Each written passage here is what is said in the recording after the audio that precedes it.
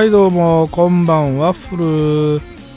ジュリエットキロスリオスカー単語ホテルワッフルです。さあ今日もね、えー、こんばんワッフルやっていきたいと思います。それでは今日も一日一日じゃない1時間よろしくお願いします。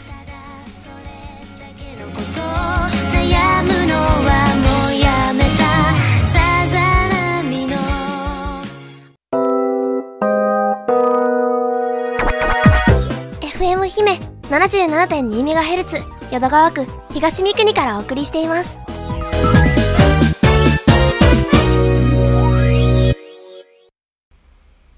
はい元気ですか？ジュリエットキロスリーオスカー単語ホテルワッフルです。こんばんワッフル。えっ、ー、とね事情によりねテイク2です。はい。いや、パソコンが落ちてね、録音全部飛んじゃってね、もうあんなに張り切って喋ってたのにね、このね、テイク2の微妙なテンションね、なかなか伝わんないと思うんですけどね、まあ、たまにね、当局ね、テイク2でね、オンエアしてることありますけどね。いやー、1回目面白かったのにな、もう幻になっちゃいましたね。いや、改めましてこんばんはですよ。はい。今日はね、9月の19日火曜日、連休明けのはずなんですよね。皆さん連休楽しいことありましたか？エンジョイできましたか？当局はね、あの、祝日がね、休みじゃない仕事なんですよね。なんでね、18日月曜日も普通にね、仕事してましたね。それでね、残念ながらね、連休じゃなくて楽しめなかったんですけど、まあまあ、それはいいとしてね、皆さんが楽しければね、まあ、こんな楽しいことあったよ、みたいなお便りまた募集してますんでね、よろしくお願いします。お便りは、えー、公式サイト、ゼロハム .amebaound.com、ゼロハム .amebaound.com のね、公式サイトのコンタクトっていうとこから送れますんでね、コンタクトっていうのをメニューから探してくださいということになっています。あとね、番組の、えー、リアルタイムのね、ツッコミね、これはあのね、X、旧 Twitter でね、えー、ハッシュタグラジオワッフル、えー、ラジオがカタカナ、えワッフルがひらがなでね、やってますんで、こちらね、またツイートしてもらったら、次の放送でね、ピックアップして紹介できますからね、よろしくお願いします。ワッフルということですね。はい。いやーこのね、テイク2の微妙なテンションたまんないですね。えー、まあね、あの、まあ、何話してたかで雑談だったんですけど、えー、っとね、あのー、まあ、その、だいぶね、ちょっと秋の気配来たと思いませんか？ちょっと秋の気配。東京はね、朝ね、6時とか7時ね、あの、ゴミを出しに外に出るんですけど、その時ね、ちょっとね、あのー、涼しげな風が吹いたりね、空気のね、ちょっと体感的なね、あの肌触りがね、温度下がったなって感じになったりとかね、あの、思いまして。あのね、昼は暑くてね、最近この9月のね、今日撮ってるのはね、14日なんですけど、まだね、あの、京都はね、外34度ぐらいあるんですよ。もうくそ暑いんでね、大変なんですけど、ちょっと朝晩ね、緩んできたら涼しいな、あと風が吹き始めたなとかね、あるんですよね。でね、アマチュア無線の人ってね、結構季節に敏感で、それは季節によって電波の飛び方とかで変わるんですよ。夏場はね、この周波数がね、活発だよなとかね、秋はね、海外がこの周波数で聞こえるよとかね、冬は何も聞こえないからアンテナの自作でもしよっかとかね、無線機の修理しよっかとかね。で、春になったらまたね、この新たなね、DX シーズンで海外が聞こえたりするねとかね。で、もう春ね、あの、いい感じ5月ぐらいで初夏になったらもうね、市民ラジオがバンバン遊べるよとかね、いろいろあるんですけど、まあ、そんな感じでね、季節のね、切り替わり、切り替わり目切れ目変わり目非常にね、敏感にね、こうキャッチしてるというかね、あの、まあ、カレンダーとか見ながらね、あと、お空の状況ですよね。その、電離層とかね、太陽の活動とかね、そんなもん見ながらね、まあ、やっておるんですけども、えー、そんな感じでね、えー、アマチュア無線の人はみんな季節に敏感だと。あとね、あの、今年の夏はね、暑すぎたんですよね。で、暑すぎるとね、アマチュア無線の人のね、あの活動がね、減るんですよね。あの、野外でね、あの、移動運用っていうのやる人結構いるんですけど、まあ家でね、うまく無線ができないとか、アンテナが上げられないとかね、たくさん電波飛ばしたいとかでね、山の上とかね、海辺とか行って無線する人、あとキャンプ場で無線する人とかね、まあ東京もそうなんですけど、いっぱいいるんですけど、今年夏が暑すぎてね、野外運用がほとんどできなかったんですよ。東京も夜にね、2、3回やっただけかな。非常にね、あの、しんどかったですね。で、その、あのね、あの、無線しながら車のエンジンずっとアイドリングしてるのって、その環境にも良くないし、エネルギーも無駄だから、無線機はバッテリーで運用してるんですよ。でも今年の夏は昼間だと、あの人が死んじゃうんで、もうアイドリングでエアコンかけっぱなし、やむなしだったんですよね。すると環境にも良くないし、ね、燃料も減るし、今の燃料も高いじゃないですか。もうガソリンとか200円がどうとかね、言ってましたよね。なんでね、ちょっとそういうね、あの、ことはやめようということでね、その、移動運用自体はね、結構みんな絞ってたんですよね。それでね、まあ、辛かったんですけど、ようやく9月に入ってね、ちょっとできるなという感じがね、出てきましたね。東京のね、次の移動運用予定はね、9月の23日土曜日、この日にね、えー、行きたいと思います。場所はね、愛知県のね、えっ、ー、と、なんだっけ、三金山？三金山にドライブウェイがあって、そこの駐車場からね、えー、名古屋向けにできるよっていう噂を聞いてるんで、そこちょっと行こうかなと思ってますね。ちょうどこの放送がが終わった週の土曜ですね。そこでね、ちょっとやっていこうか愛知県ね、2エリア、よろしくお願いしますということですけど。まあね、ちょっとね、うん、暑かったね、ほんとね。もうなんか、二言目に暑いですねっていう話をしててね、もうなんか、あれですよ、ね、あの、関西の人がね、阪神勝たないですね、みたいな話してたと、あ、思ったら、えー、今ね、これ収録ね、えー、9月14日なんですけど、今、阪神ね、あれマジックが1なんですよ、あれマジックが。で、多分この放送終わった頃にはもうね、決着ついてると思うんですよね。まあ、ついてなかったらやばいんですけど、で、東京は野球はどこのファンでもないんですけど、あの、FM 姫の局長の本庄さんは、阪神大好きなんで、あの、今日の朝聞いた話では、もし、あの、あれが決まったら、あの、深夜の枠全部取っ払って特番をやると、生放送やるぞって言って 本庄局長言ってるんで、あの、FM 姫で楽しみですね。だからもうこれ終わっちゃってるんだけど、まあ、その場合僕も聞いてますんでね、あの、一緒にね、あれを祝おうと。まあ、当局はどこにも、なんちゅうの、あの、まあ、利害関係がないんでいいんですけど、昔ね、尼崎で結構お世話になってたんで、基本的にはね、あの、阪神タイガースを応援してるんですよ。なんだけど、まあ、今ちょっとね、あの、お付き合いないんですけどね。まあ、そんな感じで、あの、やっていきたいと思ってますけど、はい。じゃあね、ちょっとね、テイク2でね、えー、しちゃかめっちゃかなんで、一旦ここでブレイク入れます。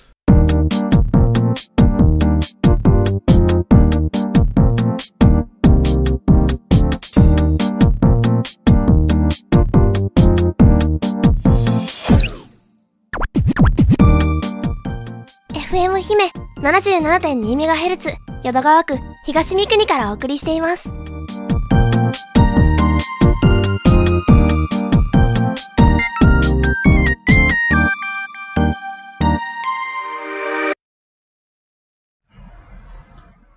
はい。そんなわけでね、えー、っと、また聞きますけどね、今日ね、5本の紹介、書籍の紹介させてください。でね、あの、最近ね、アマチュア無線のいい本ね、出たんで買ってきたんですよ。これタイトルはね、令和大改革対応版、アマチュア無線開局運用マニュアルってことでね、電子工作マガジン編集部編で、電波新聞社ですね、から出てます。本、値段が2640円。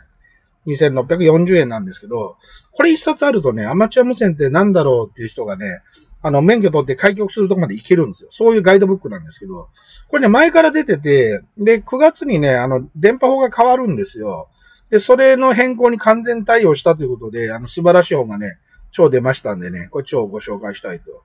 まずね、何が書いてあるかなんですけど、ちょっと表紙からね、読みますとね、まず制度大改革概要と。アマチュア無線で何と。無線局と電波、資格を取ろう、最新開発開局ガイド、様々な運用スタイル、無線機アンテナガイド、ジャールや無線クラブに参加しよう、実践 QSO ガイド、デジタルモード入門、自作機器アンテナで QSO、TBI、RFI 対策、I はインターフェアって妨害のことですね。最新 SWL、ライセンスフリー無線情報、上級ハムのための QRO 申請ガイドということでね。これあの、無線を、えー、今やってない、これから始めようかなってちょっと興味あるなって人からね、今実際やってる人、それから上級ハムに行こうとしてる人、もうみんなね、あの、読んだらためになるね、素晴らしい本だと思います。もうびっくりして、中読んでたらね、もうほんとね、多岐にわたってね、網羅的に、しかも優しい文章で書かれてて、で、めちゃめちゃね、あの、読み仮名とかも振ってあるし、各所データもね、最新の情報が入っててね、えー、例えば見てみましょうか。無線従事者資格の種類と取得者と、アマチュア無線は、えー、っと、第1級の人は34,698人しかいないんですね。第2級は84,650人だと。3級が265,911人。4級の人が315万190、あ、1932人だと。4級で315万人いるんですね。で、1級の人は1万人しかいないんですね。すごいな。1級ですげえな、やっぱり。でも2級でも3万4千しかいないんだね。みたいなこともね、わかるという、いろいろね、こうわかりますね。で、その、どうやって取ったらええねんっていうのもね、あの、講習会とか e ラーニングとかね、一発試験とかも全部書いてあって、もうね、東京がね、説明することはないんですよ。これ読読めばいけるなと。わからないことはもう東京がこれからこの本から抜粋して喋ろうと思うほどなんですよね。だからね、ちょっと興味あってね、2640円ね、出せるなっていう人ね、これちょっとね、あの、買いましょう。本当もう、あの、超おすすめ、ストロングリリコメンド。超おすすめになりました。アマチュア無線開局運用マニュアルって本ね。これまたね、あの、YouTube の方にね、あの、概要欄にリンク貼っておきますので、あ、YouTuber っぽいな。概要欄にリンクを貼っておきますので、YouTube ですね。あの、そっち見てください。ラジオの人はね、あの、独自に、えっ、ー、と、Amazon で調べてください。あとね、アマチュア無線ショップとかに行っても置いてる可能性ありますね。あとはまあ本屋さんね、大きめの本屋さんなら、これ新しく出た本なんで扱ってるかも。出版社ね、電波新聞社なんで、電波新聞社のアマチュア無線開局運用マニュアルないですかって聞けばいいですね。あとね、これね、令和大改革対応版じゃない古いやつもあるんで、そっち買わないように気をつけてください。古いやつもありますってことね、伝えておきますね。はい。あとね、えっ、ー、と、まあ、書籍の紹介それまでなんですけど、えー、最近ね、当局ね、何してるかっていうと、まずね、あの、部屋が変わったっていうかね、今ね、別室にいるんですよ。で、今まで無線機積んでた、あの、シャックがあったんだけど、シャックから離れて別の部屋なんで、無線機なかったんですよね。で、ちょっと寂しくなってきたんで、しばらくしてから、シャックから20メーター同軸ケーブル延長して、で、この別室にもね、あの FT キック1アルファマイクっていうね、無線機置いてみたんですよ。で、ちょっとね、あの無線やってて、で、まあ面白くなってきたんで、ただこの部屋ね、アンテナ直接出せないんですよね。で、じゃあどうしようかなと思って、じゃあデジタル無線ね、あの、インターネット系の VOIP ってやつやろうと思って、で、まず D スターっていうのは IC705 ってアイコンの機械で、インターネットで Wi-Fi でできるんですよ。で、それやってたんですよね。あと、あの、デジタル無線にはもう一種類、日本には WirersX っていうの、八重さんがやってるやつがあって、WirersX ちゃんとやってないなと思って、で、FTM500D ってモービル機ね。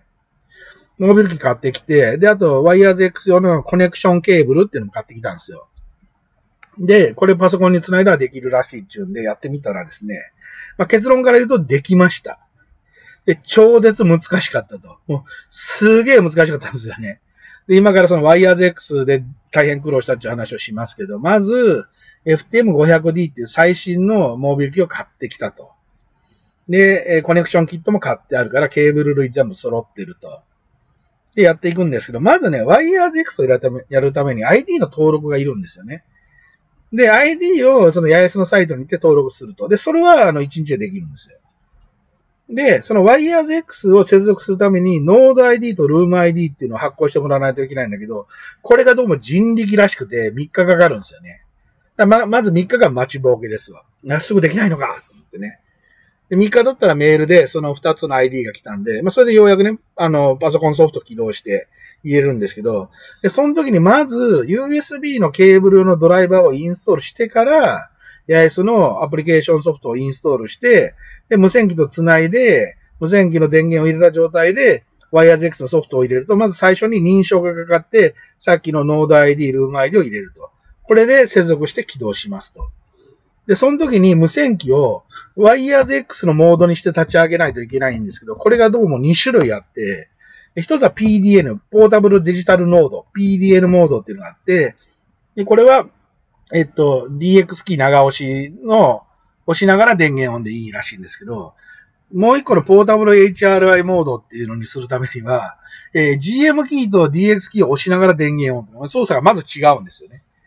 で、まあ、ちょっと話を、えー、簡単にするために、まず PDN の話をしますけど、PDN っていうのはポータブルデジタルノードで、自分は ID を持っていて、で、えっと、あのいろんなお部屋、ルームっていうのがあるんですよ。で、そこに接続すると、あるいは node to node っていうので、その、よその人にダイレクトにつなぐってことができるんですね。で、それで、例えば、えっと、まあ、日本、まあ、世界でも有数のね、メジャーなルーム、オール JA、CQ ルーム、D っていうのがね、接続するんですよ。番号をね、入力して。そしたらそこ繋がって、まあ、160人とか200人とかね、常時接続してる人がいて、みんな聞いてると。で、そこにハロー CQ って言ってね、まあ、声出すんですけど、200人聞いてるとこで声出して、まあまあ緊張するんですよね。で、まあ、でもテストだからと思って、すみません、あの、ポータブルデジタルノードのテストなんで、誰か聞こえたら応答いただけませんか？って言ったら、優しい人が応答してくれて、ワッフルさんですよね？ってって、あのね、YouTube の視聴者の方で、で、更新できて、PDN できたと。よしと。で、もう一個、あの、やりたいことがあって、東局は、あの、北海道にね、無線バイクツーリングに行ったんですよ。キャンプしながらね、無線してバイクで走るってのやってたんですけど、その時ね、苫小牧で非常にお世話になった皆さんがいた。ね。苫小牧ほんといいとこなんでみんな行ってくださいね。で、その苫小牧には、アナログの430レピーターがあって、そのレピーターはワイヤーズ X と連携してて、ワイヤーズ X で声出すと、苫小牧のレピーターから声が出るんですよ。で、それは知ってたんで、それぜひやってみたいなと思ってね、えー、ちょっと試みたんですけど、まあ、それをやるためにいろいろ宿泊した結果、ポータブル HRI モードにしないとできないというところまでたどり着いたんですよ。で、それはさっき言ったように無線機のモードを変えて起動するということで、その無線機をポータブル HRI モード、つまりな、な、まあなんかそういう設定して起動すると。で、パソコンのソフトの方はまあ基本的にあんま変わらないんだけど、で、それで、えっ、と、その、苫小牧の、ね、番号をね、打って繋げるんですよ。な、まあ、繋がるんですよ。で、コネクトって出るんで、やったと思ったら、声聞こえないんですよね。こっちの声は出てるっぽいんだけど、聞こえないと。で、ある時、苫小牧の一曲の方だけ声が聞こえるようになったんですよ。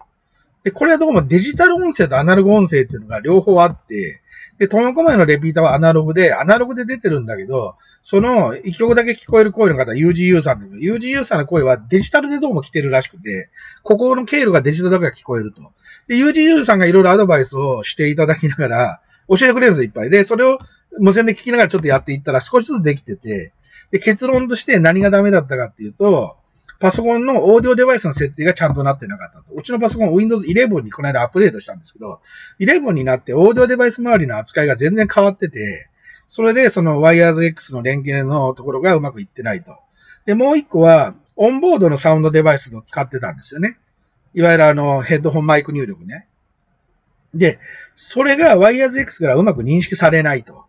で、認識させるにはどうしたらいいかっていうと、もう一個 USB のサウンドデバイスをつなげば、オンボード側が選べるようになるんですよ。一個だと選べないっぽいんですよね。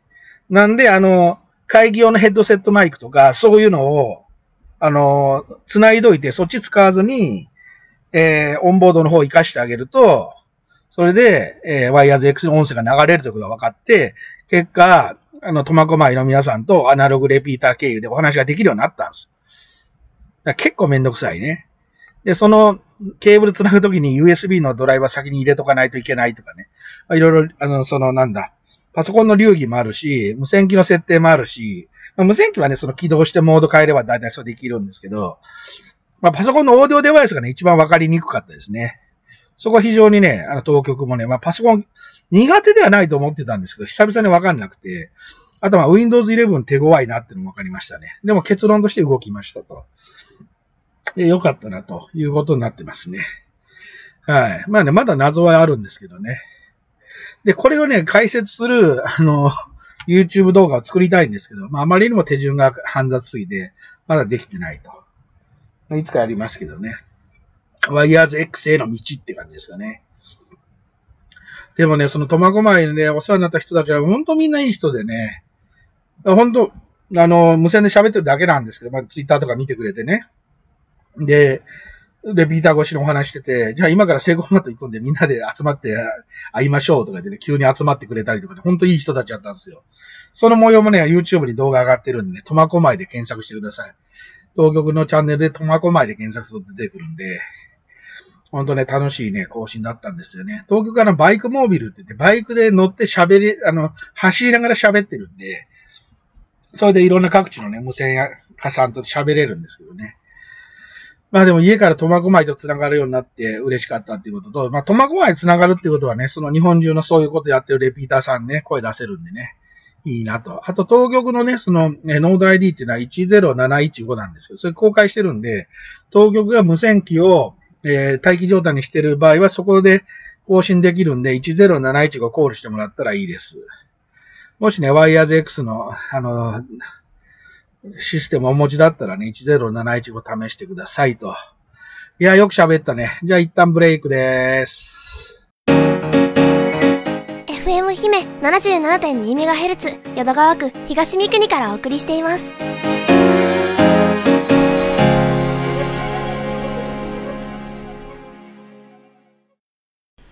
はい。大阪市淀川区 FM 姫をキーステーションに全国3万局ネットでお送りしてます。こんにちは。フルゼロから始めのアマチュア無線ですけどね。えっ、ー、と、これ第9回なのね。もうね、9回もやってますよ。大丈夫ですか本当ねアマチュア無線ね、始めようと思う人向けの専門番組ということでね、そういう体でやってますけどね。まあ大半は当局の雑談っていうね、えー、ことになってますけど。まあ、今日はね、あの本の紹介とかしましたからね、大変有益な内容も一部あると。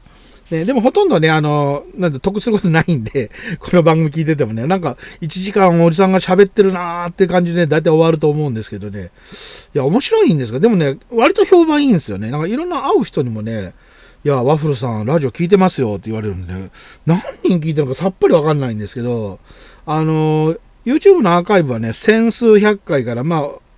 少なくてもね、500回、600回回ってるんで、5、600人まで聞いてると。で、オンエアで多分ね、1000人ぐらい聞いてると思うんですだからね、1200、300人、1500人、2000人ぐらい聞いてると思うんですけど、まあね、なんせね、この電波はつかみどころがないですね。手応えが全くわかんないですね。お便りだけが頼りなんでね、お便りお願いします。あとね、ハッシュタグラジオワッフル、ハッシュタグラジオワッフルどんどん盛り上げていただいてね、えー、ね、夢はまあ X トレンド入りということでまだ入らないですけど、ね、やっていこうと。いうことで、あ、そうか。で、そう、さっき、これテイク2だって話しましたけど、テイク1でね、面白い話してたんで、その話しますね。あの、今日収録日で9月14日なんですよ。で、この日ね、阪神のね、アレマジックが1なんですよ。まあまあ、もう優勝って言っちゃいますけど、オンエアの19日にはもう優勝してると思うんですよ。優勝してなかったら逆にやばいと。なんで優勝してる体で語りますけど、その14日の朝にね、FM 姫の局長の本庄さんがね、本庄局長が、あの、今日ね、あれ、優勝したらね、あの、あれだ、あの、もう夜のね、あの、深夜枠全部ぶっ飛ばしてね、優勝記念生放送やると。やると言ってたんで、それは面白いと、東京も聞きますよという話でね、えー、多分 FM 姫さんは優勝の日は、あの、深夜枠がね、全部フィラーって言うんですけど、その、フィラーが全部飛んで、本庄さんがずっとしゃべってると。いうことになってると思います。で、東京は野球についてはニュートラルで、どこの球団を応援してるとかないんですが、昔は尼崎で大変お世話になりましたので、基本的には阪神さんは応援してると。応援してるというか、まあ頑張ってほしいなと思ってますんで、今回優勝したら本当めでたいし、関西人としてもこんないいことはないだろうと。ね。で、あの、まあ、道頓堀が限界体制で、えー、警官が1300人動員されるんですか？で、まあ、飛び込ませないようにね、でかい、えー、柵も立てるよとかね、いろしてると。で、京都もね、なんか戒厳令が敷かれてね、お巡りさんがいっぱい出てきて、あの、河原町とかでね、あの、あと鴨川ね、警戒されてるらしいんですよ。まあでも、阪神のね、優勝、まあ優勝って言っちゃうけど、災害なんですね、これね。で、経済効果も多分あって、もうなんか、前の時もね、上司がわけわからんぐらいね、なんか、大セールやったりね、あと百貨店もみんなやるじゃないですか。スーパーもやるでしょ、ダイエーとかね。だいぶやんのかな？うん、まあなんか、とりあえずみんな乗っかっていこうってことで、経済効果すごいあると思うんですけど、まあなんか警察とかが言う感じでは災害ですね。災害扱いになっとるということでね。いや、すごいなと思ってね、あの、感激しておりますよ。でね、その時アマチュア無線化としてはね、警備の人とかはね、特定省電力無線とかね、持ってるんで、ね、それあの、ワッチするって遊びがありますね。あの、警備の人、あの、警察の人の無線聞けないんで、警備の人がね、どんなトランシーバー持ってんのかなっていうので、こう、遠目に観察しながらね、それの周波数をサーチするとかね、そういう遊びあるんでね、それは全然あの違法じゃないんで、盗聴じゃないんでね、飛んでる電波を聞くっていう話なんで、合法なんですけど、まあ、それでね、警備情報を先回りして聞いてね、えー、さらに先回りして動いて、まあ、混乱に巻き込まれないとかね、まあ、そういったこともありますねっていう。まあ、まあ、無線化っていうか、それはあれですね、あの、受信愛好家ですね。あの、ラジオライフとかね。まあ、今ないですが、アクションバンドって本とかね。そういうのの愛読者の方はそういうことをね、よくやられてて、まあ、人よりも一歩先んじた行動をね、されてたなって印象がありますけどね。まあ、阪神優勝してたらおめでとうございますと。でそうじゃなかったら、まあ、頑張ってくださいということでね。えー、阪神ネタでございました。えー、ブレイクです。FM 姫 77.2MHz 淀川区東三国からお送りしています。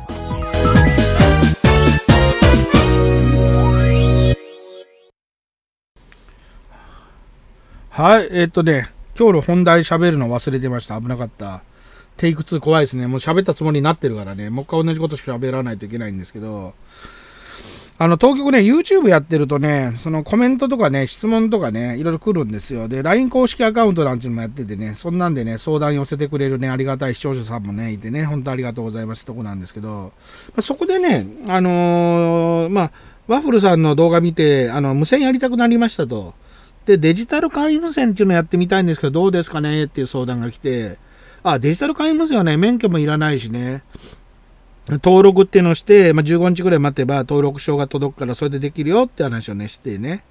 で、あの、無線機は3万円ぐらいで買えるねって話をしてたらね、あ、やってみますっていう人がいて、で、なんか、それで、ね、デジタル会無線で遊び始めたらしいんですけど、その方ね、ちょっとハンディキャップをお持ちでね、あの、健常の方ではないらしいんですけど、そんでもね、最初ね、全然更新できなかったらしいんですよね。で、ちょっと相談を受けて聞いてたら、まあ、その家の近所でやってる人がいないのと、あんまり家が、家から電波が飛ばない感じなんで、ちょっと河原とかね、行ってみたらどうですかと。まあ、それが京都のね、方らしいんですけど、で、まあ、電波の飛びそうなとこいくつか紹介してね、こういうとこでやってみたら誰か出てくるかもと、あと時間帯と曜日の話があって、だから土曜日の夕方とかどうですかとかね、まあ日曜日だったら昼間でもいますねとかね、そしたらね、更新できるようになったらしくて、それすごい楽しいですと。ありがとうございますって言って、いや別に僕何もしてないけど、更新できてよかったねって話をしてたら、いや、ワッフルさん実はアマチュア無線っていうのもやってみたくなりましてって相談を抜けてね、これも非常に嬉しいことじゃないですか。新たな無線化の誕生ですよ。いや、それいいねと。で、あの、免許を取りたいと。で、無線機買って、あの、コールサインもらって開局したいと。素晴らしいと。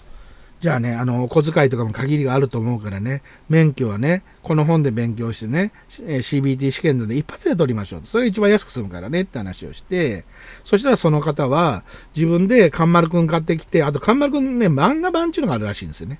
で、その漫画版でわかんないとこ読みながら、カンマルくん一生懸命やって、で、試験パスしたんですよ。もう合格ですよ。素晴らしい。大拍手ですよ。で、その、試験受かりましたってまず連絡があって、素晴らしいと。で、次は、あの、局面教場申請しますということで、コールサインね、発給してもらうために。で、申請書も自分でちゃんと書いて、やったと。で、えっ、ー、と、もうすぐね、免許来ると思うんで、無線機欲しいですと。で、この方、京都の方なんで、あの、東京がいつも、あの、お邪魔してる、日英無線京都店さん京都店さんに行ったらね、MC 浜野さんってね、優しい店長さんがいるからね、相談乗ってもらえるしね、いいの買えるんじゃないかなって言って、で予算には限りがあるからね、そこちゃんと言ってね、あの予算内でね、なんとか揃えようねって言ったらね、八重洲の FT60 を買ったらしくて、アナアナログの入門機としてはね、もう非常に素晴らしい機械なんですけどね。うん。で、それでやりましょうっていうことで、で、あとは、あの、外に置くアンテナね、簡易なアンテナケーブル付きのやつ買ってでそれを窓開けて外のベランダのアンテナ置いてなんかまあやれるんじゃないかと。っていうので昨日だったねコールサイン来ましたって連絡来たんですよ。で、あの、ジュレットケベック3のこれこれですって言って、お、すごいね、やったねって言って。で、その人はハンディ機で5ワットなんですよ。で、当局の家からまあ10キロ、15キロぐらい離れてると思うんですけど、よっしゃ、一発更新してみようかって言って、当局が430の、まあ、ちょっと空き周波数探して、433、433の22ってとこ空いてたんで、そこちょっと確保して、で、今から433の22で呼ぶから聞いといてくれと。聞こえたら応答してくれと。で、コール指定です。ジュリエットケベック3のホゲホゲさん、聞いてますかって。こちら、ジュリエットキロ3、オースカータンゴホテル、京都市下京区です。って言ったら、聞こえますって応答書いてきて、こちらは、ジュリエットケベックは出てこないですね。Q3 で、おー、新鮮新鮮と思いながら、で、自分のコールサインちゃんと言えたんで、ジュレットケベック3なんとかんとかさん、こちらはジュレットキロ3オスカー単語ホテルですと。レポートは5151、5151です。お返します。どうぞって言ったらね、向こうから53って帰ってきたんですよ。でこれ更新成立なんですよ。コールサインがお互い交換できて、レポートって言って、どれぐらい相手の声が聞こえてるかっていうのをお互い交換したら、それで更新 OK で、これできましたってことなんで、更新できたね、よかったねって言ったらね、向こうの人がね、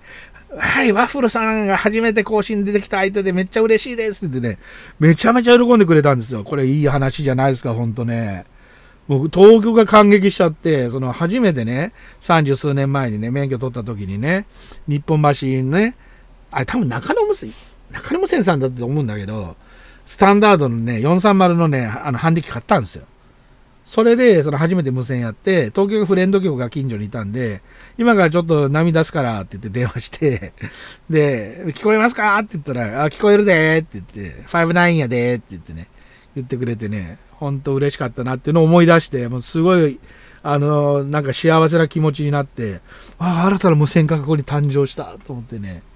感激してね、そしたら最後ね、ありがとうございました、セブンティースリーさよならって言ってくれるわけですよ。セブンティースリーのかっこいい言い方ね、覚えててね、すげえなって言って、あ、これはデジタル買いませんで覚えましたって言うんでね、あ、やっぱりライセンスフリーでね、ちゃんとやったことはね、アマチュア無線とか他でも生きるし、アマチュア無線の経験もライセンスフリーでも、ね、生きるんだろうなと思ってね、非常にそこね、有機的なつながりがあるなっていうのを感じましたけどね。まあ何にしても嬉しかったわけですよ。いや、こんな嬉しいことはないなとね、YouTube やっててね、新たな無線化の誕生にね、立ち会えたっていうのもこんな嬉しいことはないと。東京結構ね、そういうね、あの、初めて更新した相手ですって言われることはあってね、まあ、あの、めちゃくちゃ更新してるんで、まあ、確率的にね、いろんな人に、え、声かけてるんで、そういうこともあるのかなと思うんですけど、まあね、それでね、その方ね、あの、今後楽しく無線やってくれそうでね、え、喜びましたっていう話でございました。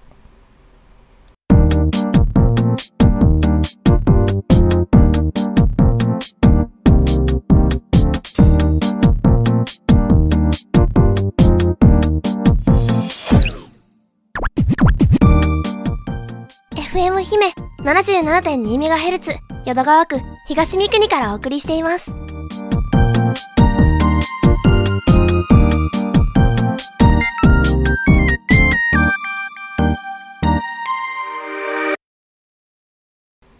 はい、そういうわけでね、お送りしております。こんにちは、フルゼロから始めるアマチュア無線第9回ね、えパーソナリティは私、ジュリエット・キロ3、オスカー・タンゴ・ホテル、JK3OTH ワッフルがですね、えこう京都市下京区の、え自宅スタジオからね、えー、FM 姫さんをキーステーションに全国5万曲ネットでね、あとは、えー、サイマル放送のネットでお送りしてますということでね、ネットラジオで聞いてる皆さん、元気ですか？元気ですか？ね。えー、あ、これアマチュア無線化あるあるで同じこと2回言うってね、必ず伝えるためにね、大事なことは2回言いますけどね。はい。えっ、ー、とね、ちょっとイベントの告知ね、ここで入れときましょうかね。え、4本決まってましてね、え、直近が、えー、9月24日日曜日、えー、24日の日曜日がね、え、名古屋市のね、鶴舞駅の駅前のね、鶴舞公園にある名古屋市公会堂、ここでね、東海ハムの祭典、東海ハムの祭典というね、イベントがあるんですね。そこのね、ポータブース、パークスオンジエア、ポータブース、パークスオンジエアのところにね、お手伝いでおりますんでね、そこ来てもらえるとね、あの、当局と会えますし、あの、プレゼントとかもありますしね。それから当局が、あの、たどたどしくパークスオンジエアの説明をすると。あと、記念品もなんかもらえるんじゃないかな。東京からステッカーとかプレゼントしますからね。あの、鶴舞来れる人も全員集合です。遊びに来てくださいということでね、お待ちしてますよ。入場は無料です。で、駅からめちゃくちゃ近いんで、電車で来るのがいいと思いますね。近隣の駐車場結構埋まっちゃうらしいんで、よかったら電車で来てくださいという感じですと。えー、続いてね、9月30日土曜日、えー、岐阜県海津市、えー、基礎参戦公園センター、えー、長良川、えー、河川敷第一駐車場、こちらの北側でね、えー、第5回ワッフルミーティングインツーエリアっていうのがあります。もうワッフルミーティング第5回ですね。で、あの、まあ、東京から車持って行ってね、えー、無線機出して、で、あの、体験運用って言ってね、あの、免許ない人がね、初めてね、ちょっと試しにやってみようかなっていうのがね、あの、OK な制度ができたんで、体験運用もできますんで、アマチュア無線興味あるけど、免許ねえやっていう人も来てもらっていいし、アマチュア無線バリバリやってるぜっていう人は東京とね、雑談しましょうと。で、ここでもノベルティとかね、うまい棒とか配布されるんでね、遊びに来てくださいね。お子さんも大歓迎。ね、おじいちゃんも大歓迎。女性も大歓迎ですね。ねあとはあのね、なんかまあ東京とラジオの話をしたいという BCL の人もね、あのまあラジオ好きもいっぱいいますんでね、えー、基本的にはまあなんかのんびりしてますと。で、あの会場は、あの駐車場なんで、道路なんで、えー、っと、あの、仮設物占有っていうのできないですよ。要するに、あの、三脚立ててアンテナ上げるとかができないです。だからそれだけちょっとご了承くださいということでね、伝えておきますね。で、続いては10月1日日曜日が、えー、第6回ワッフルミーティング in 比叡山ね、5回、6回と連続ですけど、比叡山は許可取ってあるんで、あの、仮設物設置が OK なんですよ。なんで、アンテナとか上げていいんですよ。好きにやっていいし、ここは、でね、ここはね、芸人さん来ます。あの、あと FM 姫の本庄局長も遊びに来てくれますし、ハイパーさんって言って、あの、ラジオ好きの、あの、有名な方も来られます。で、その他、芸人さん今ブッキング中なんで、でね、ちょっとしたスピーカーとかも用意してあるんで、ちょっとね、あの、まあ、お話ししてもらったり、あとね、公開収録できると思うんで、このラジオとかね、あの、本庄局長が、週刊本庄剛っていうのやってるんで、その番組のね、外ラジ収録とかもできますね。なんで、あの、皆さんもね、その収録見に来たりね、なんなら自分も出れるんでね、え出てくださいっていう感じですね。はい。で、いつものように無線やって遊んで、で、おや、お菓子食べて、で、東京からステッカー配って、で、まあ、たまに食べて、で、ここでもあのね、体験局運用できるんで、体験運用で無線機の、あ無線の免許ない人も遊んでもらえるというようなね、形のね、楽しい、えー、一日にしたいと。で、えっ、ー、と、どっちも5回も6回も時間は10時から15時、10時から15時ぐらいで考えてますんでね。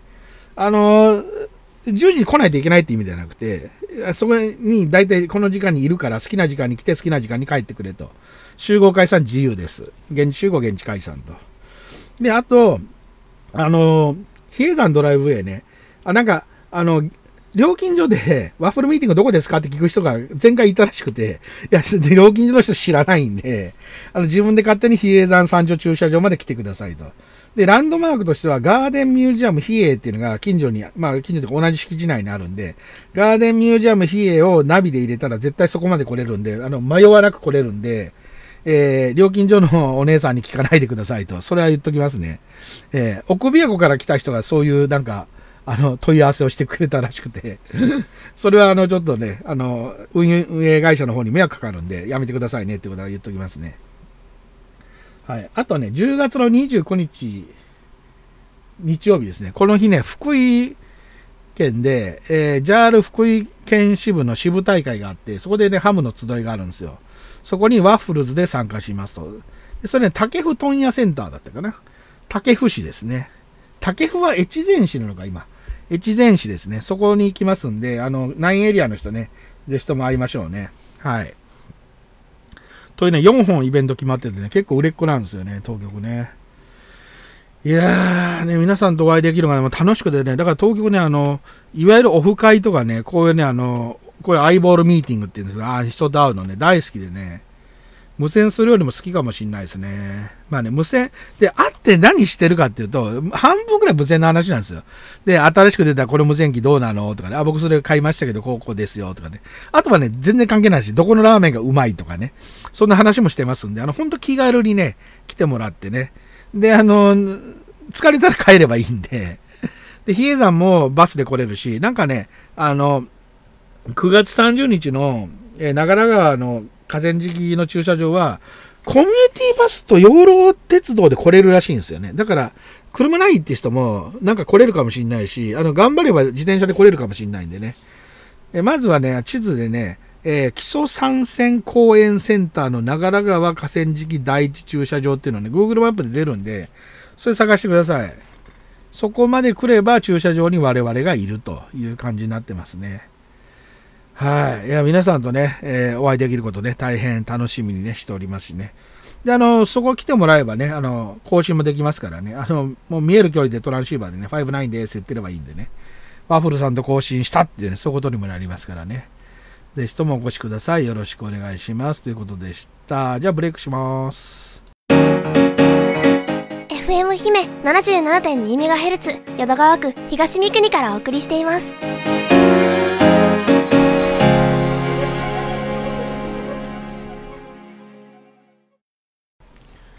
はい、そんなわけでね、えー、お送りしております、えー、こんにちは、フルゼロから始めるアマチュア無線ですけどね。いやー、アマチュア無線ね、どうですか？あの、皆さん、興味出てきましたかね？えっ、ー、とね、このラジオのリスナーをね、東京想定するに、えっ、と、YouTube で東京を見てる人ね、視聴者さんね、それから、えっ、と、FM 姫さんのファンの方ね、あと、あの、BCL ラジオのね、話題をね、やってる珍しい番組なんで、なんかラジオ系の人結構聞いてるらしくて、それ嬉しいですね。あとは、うーん、あとはたまたま聞くってことはまあないのか。まあ、YouTube から流れてくる。あとは Twitter から流れてくる人かな。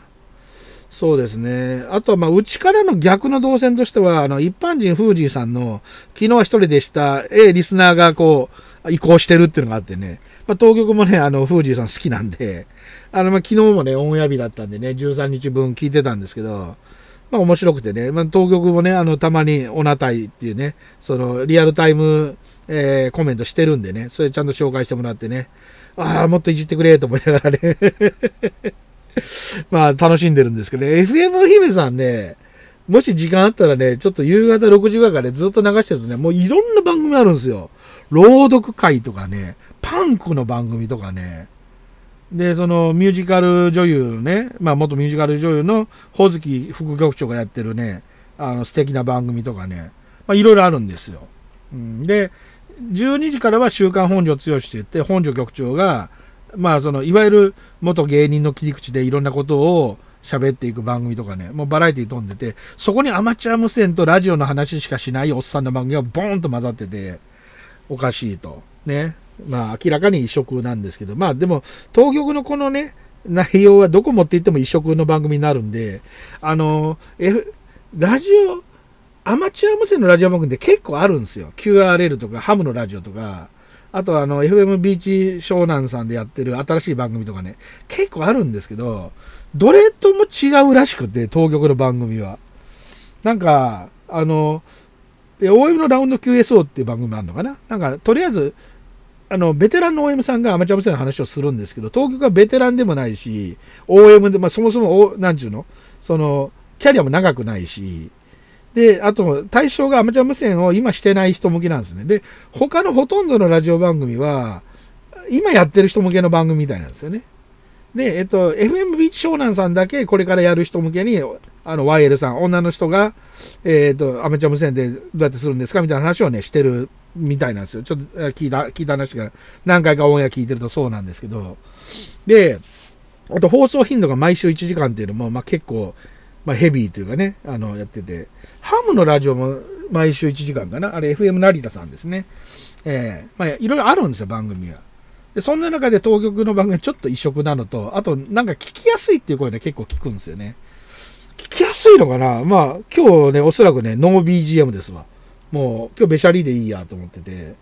べしゃりってのはあの、おしゃべりのことの、まあ、その芸能界用語なんですけど、あ、東京たまにね、なんかあの、それっぽいこと喋るのは、あの、昔ちょっとその芸能界のお仕事、お手伝いしたことがあって、っぽいことでちょっと言うんですけど、基本的には素人のヒゲのおっさんなんで、えー、まあ、その辺はまあ、スルーしてくださいって感じなんですけどね。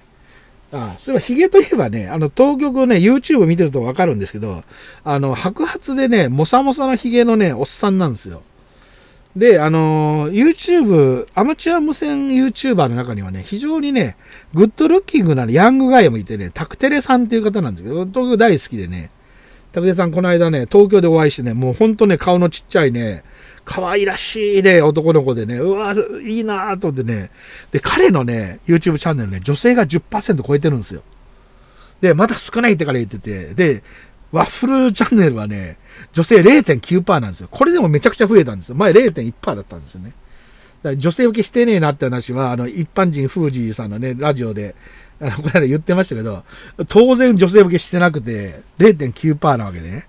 で、これはやべえと。まあ、やべえというか、まあ、でもここで増やす手段はないし、増やそうとも思わないんだけど、アマチュア無線全体の進行を考えたときには、若い女性の人とか絶対多い方がみんなハッピーなんで、そこはアピールしたいと思ってるんだけど、まあ、東京もね、あの、ずっと男子校なんですよ。中学から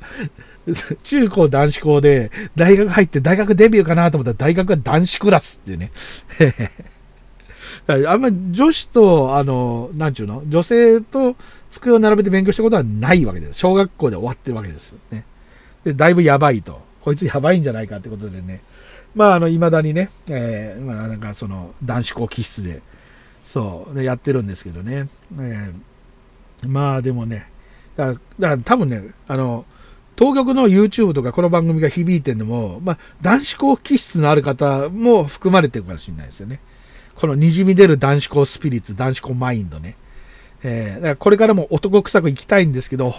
できたらね、若い女性の人にも共感してもらいたいと。アマチュア無線面白いなっていう点においては共感してもらいたいと。で、当局に興味持ってくださいとは言わないです。別に僕はもうどうでもいいんですけど、アマチュア無線は誰がやっても面白いと思うんで、特に YL さんも結構いるんでね、うん、あのぜひともね、やってもらったらね、仲間もできますしね、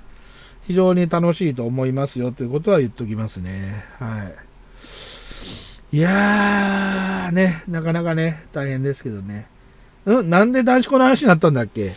あ、タクテレ君だ。タクテレ君が、そう、グッドルッキングなんですけど、タクテレ君たまに動画で、その他のアマチュア無線 YouTuber が、薄汚いもっさいみたいな趣旨のことで、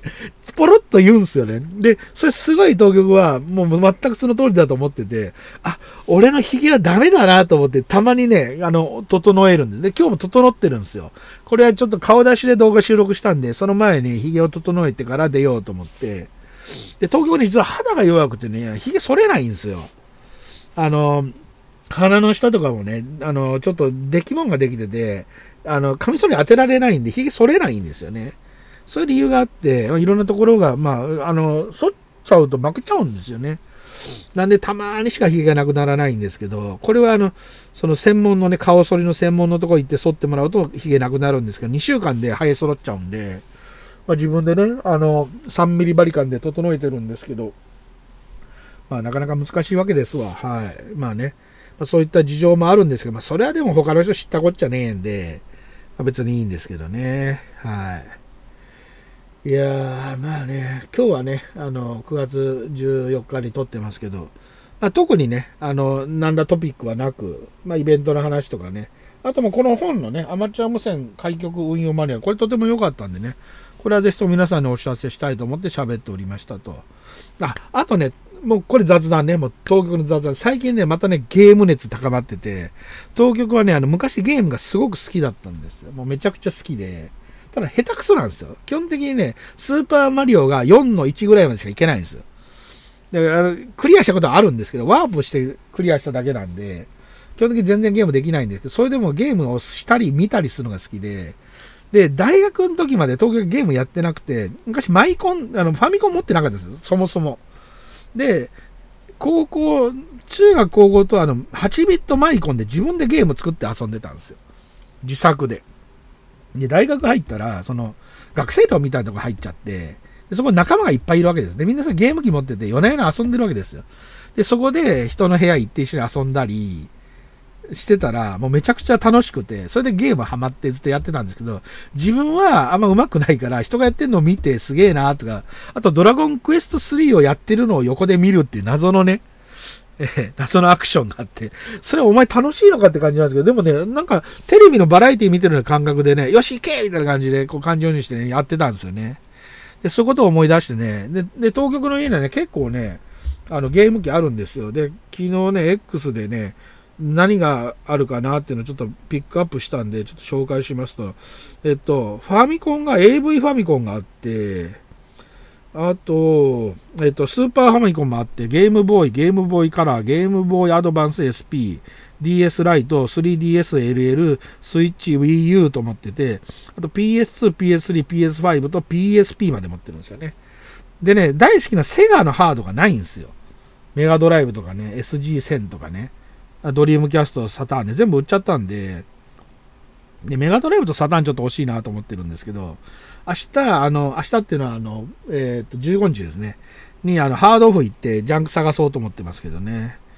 で、その、やっぱりね、もう新しいゲームできないですよ。最新のゼルダとかね、もうさっぱりわかんないんで、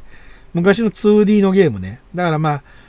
あ、まあまあまあ、PSP ぐらいまでかな、うん、はできるんだけど、でも、モンハンとかできないしね。やっぱりね、あのあれ、ゼビウスです。ああいうやつ、ああいうやつ、シューティングが好きなんで、まあ、東京よくやってるのはね、究極タイガーとライデンですけど、あ、あとね、ミニ、あの、復刻ゲーム機よく持ってて、えー、っと、メガドライブとメガドライブ2とジェネシス2と PC エンジンミニとスーファミミニとファミコンミニは持ってます。はい。で、それで復刻ゲーム機かなりやってて、でよくやるゲームは究極タイガーとライデンシリーズ。縦集ってやつですね。縦スクロールシューティングゲーム。これでめちゃめちゃやってるんですけど、まあね、下手なんですよね。やっぱ2面とかで終わっちゃうんですね。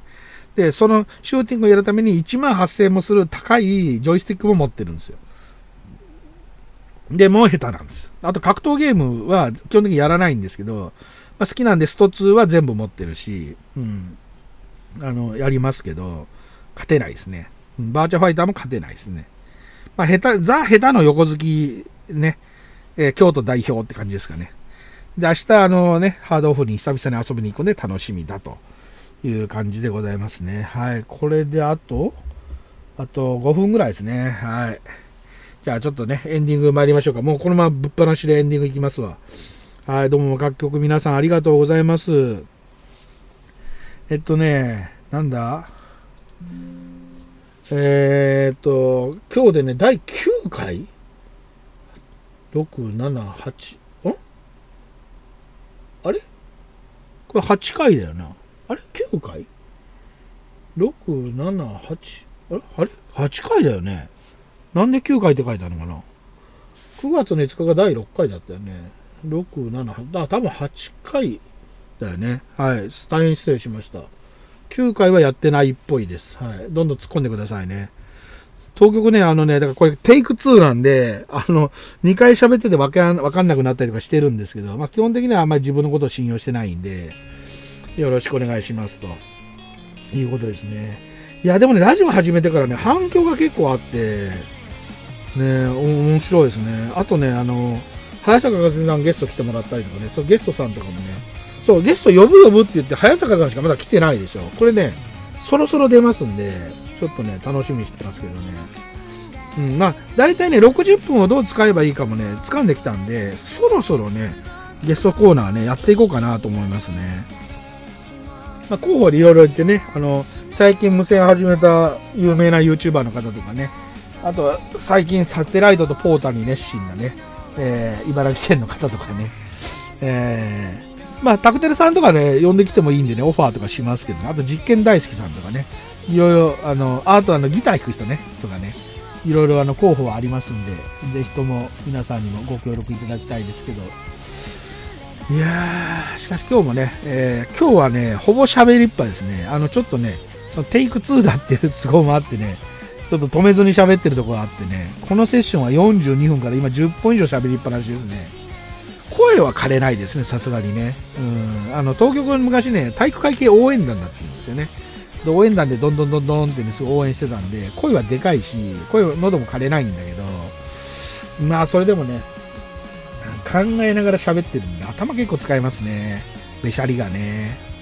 うんでもまあアマチュア無線の時もね相手がね喋ってる間ね何よ何よって言ってあとなんかねベテランの方になるとね1回に喋る内容が多くてね話がまた飛ぶんですよねあれこの人何の話してたんだったかな？後で。しかも10分喋りっぱの人とかいて。いやいやマイク返してくれよと思いながらね。そういうねあのこれターンラウンドが長いっていうね。うん。長いラウンドでしたねって言うんですけどそういう人もいるんでね、でもこういう喋りの訓練はね、十分してると思うんですが、まあね、あの皆さんとまたね、更新をしたいですね。あのー、京都近辺だったらね、430FM とかね、まあ、HF がたまに出ますし、で基本的に当局はあの運用の予告はね、X、旧 Twitter でやってますんで、Twitter 見といてくれたらね、あの分かると思いますんでね。えー、東京のツイッターは京都 GS150、京都 GS150 ですね。こちらで探しまして、まあ、ワッフルで、あ、JK3OTH で検索すると、当局の、あの、X アカウント出ますね。X ってめんどくさいな、もう Twitter でいいじゃん。Twitter アカウント出ますんでね。ねいいと思いますけど。まあまあ、そんな感じでね、やっておりますんで、えー、55分30秒。あと30秒ちょっと 1, 1分ですね。1分喋りますけどね。本日もどうもご清聴ありがとうございます。今多分ね、もうね、あの、魔王魂さんのね、えー、曲かかってると思いますけどね。シューティングスターね、これいい曲なんだよね。これも大好きでね、いつも聴いてますね。いや、ほんとね、またね、で、生放送やってくれっていう声がいっぱいあって、できねえよって話を前回しましたけど、またちょっとやろうかなと思っててね、うん、あれ、いろいろ大変なんだけど、まあ、やる価値はあるし、やる意味もあるんでね、ちょっとまたやっていきたいと思いますね。はい。じゃあね、本日はね、この辺で終わっときましょうかね。いや本日もね、FM 姫さんをね、T ステーションに全国全国5万曲ネットでね、プラスサイマルの、え、ネットラジオで、え、配信させていただきました。えー、担当しましたのは私、ジュリエット、キロスリー、オスカー、タンゴ、ホテル、JK3、OTH、ワッフルでございました。えー、それではね、来週ね、えー、9月の26日ですね、えー、東海ハムの祭典の後になりますけど、皆さんお会いしましょう。それではありがとうございました。セブンティースリー、さよなら。